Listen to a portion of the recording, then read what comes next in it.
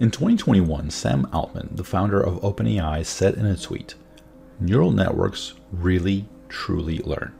It's not a fancy trick. This is one of the most remarkable things humans have ever figured out, and the implications are difficult to overstate.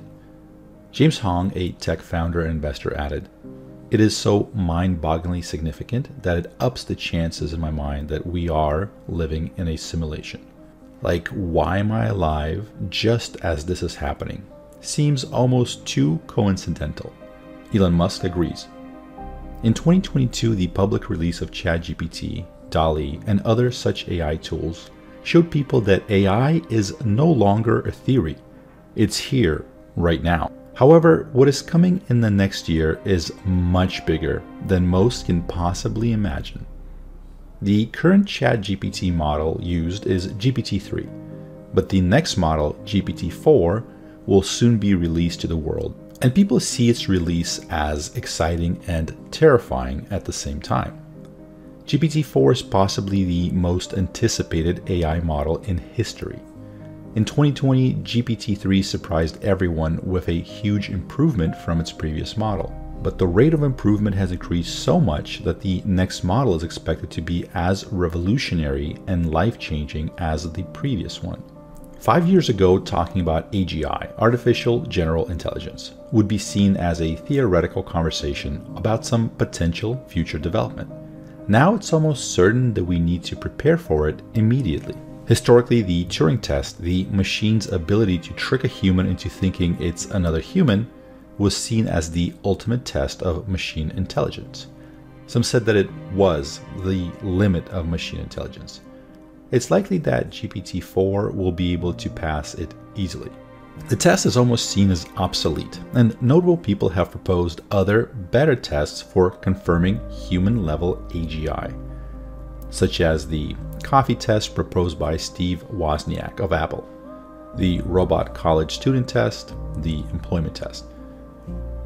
People who have tested GPT-4 cannot talk about the results, but they are obviously impressed. A friend has access to GPT-4 and can't talk about it due to NDAs.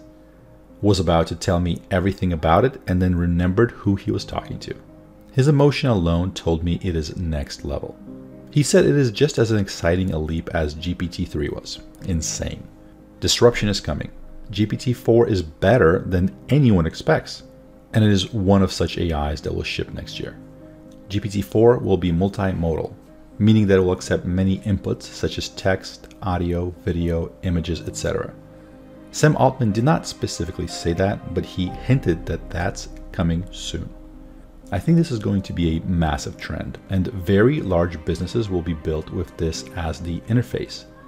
And more generally, I think that these very powerful models will be one of the genuine new technological platforms, which we haven't really had since mobile.